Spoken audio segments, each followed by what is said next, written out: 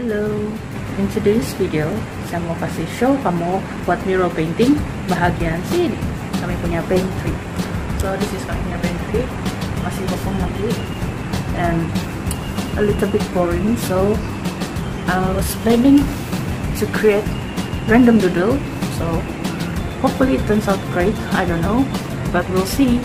Okay, if you like this video, don't forget to give us a big thumbs up and subscribe, like and comment down below. And yeah, please keep on watching to see the final result. Okay, bye. So I am using Nippon paint, uh, which is easy. Apa? Water base, water base. And then dia punya harga di sini adalah 35.60 Kamu boleh beli di hardware. Saya beli di Kinarut hardware. Warna putih saja. And then for the painting, you just need masking tape, your guideline, cover yang spot yang kamu tidak mau kena cat, dan juga a lot of small paint brush because you're gonna need this to paint doodle